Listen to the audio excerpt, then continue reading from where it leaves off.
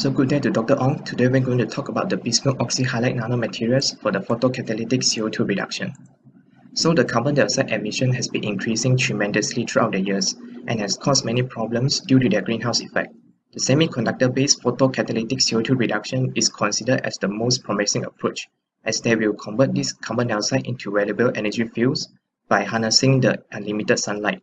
The bismuth oxyhalide is the ideal catalyst for this process due to their high visible light response, good activity as well as stability.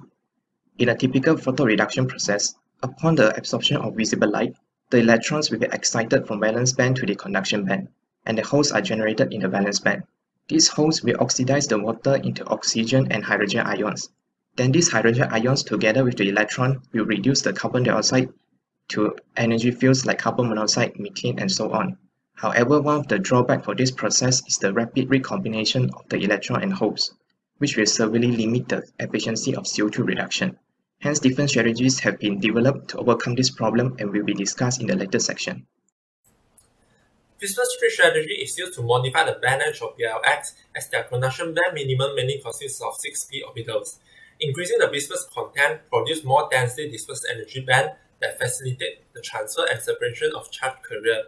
CO2 become more strongly absorbed on bismuth-rich BIOX, which promote the activation of the molecule and subsequent transformation of intermediate and product. Besides, oxygen vacancy can be created to modulate the electronic property of BIOX to expand the light absorption range. Among all halogens, BiO-Br contain the highest oxygen vacancies. Furthermore, Oxygen vacancy on valence band minimum accelerate the photogeneration of carriers and enhance their separation efficiency. Oxygen vacancy are electron-rich and able to facilitate the absorption and activation of CO2 on the catalyst surface too.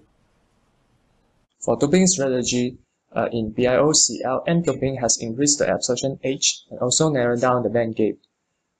Platinum doping enhances the transportation and separation of photogenerated charges, also inhibits the recombination of them. Zero-dimension carbonized polymer dots enhance the light absorption capability, electron transfer and separation, CO2 molecule absorption and desorption of lead BiO-Br. For the cocatalyst strategy, BiOI was loaded by gold and magnesium oxide, which improved the mobility and separation efficiency of charge carriers. Electrons and holes migrated to the gold and magnesium layer, prevented the recombination of them. In another case, uh, was loaded by graphitic nitrile and also small size AU. Small size AU act as the center of surface plasmon resonance, which increase the light absorption capability of the catalyst.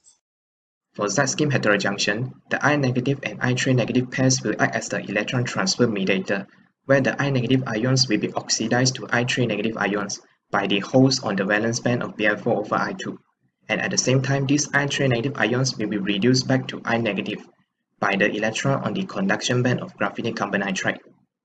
It will form a Z movement, hence it is known as the Z-scheme heterojunction. This will enhance the separation efficiency of the charge carrier at these two regions respectively. Moreover, for the facet engineering, the BiOI nanosheet with exposed 001 facet has higher carbon dioxide reduction activity. This is because the internal electric field is perpendicular to the BiOI001 nanosheet. Hence, the charge separation and migration is more favorable due to the relatively shorter diffusion distance of this charge carrier. The BiOI001 also has higher conduction band, which will also contribute to the higher carbon dioxide reduction activity. Now, let's move on to the 2D material. Most of the photocatalysts are in 2D, 2D material has an atomic thickness which is able to shorten the diffusion pathway of charge carrier to the exposure surface from surface, as well as provide an abundant epicite to expose surface to expansions of surface area. Next, ultra-thin thickness strategy. By utilizing ultra-thin thickness strategy on photocatalysts, it can provide larger specific surface area and hence provide more active site for CO2 photoreductions.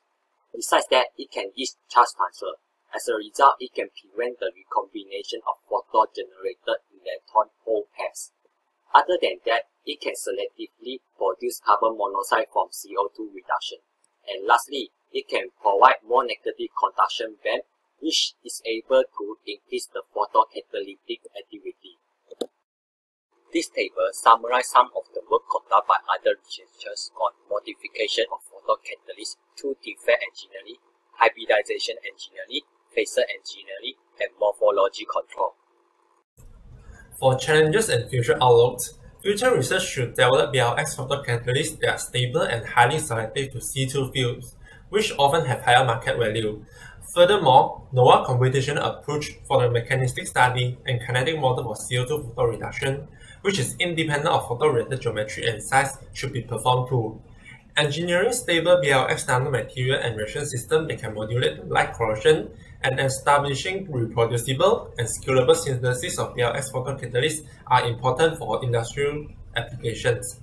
Lastly, incorporation of Internet of Things, artificial intelligence, and big data analytics should be conducted to realize a fully automated production of BiOX photocatalysts.